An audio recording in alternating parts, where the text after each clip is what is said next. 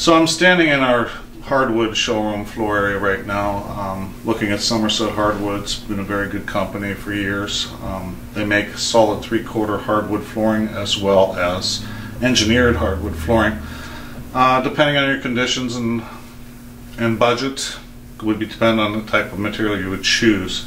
So a lot to look at, uh, a lot of different formats. The hardwood flooring is starting to get wider as uh, go through the years here. It's just a nicer look.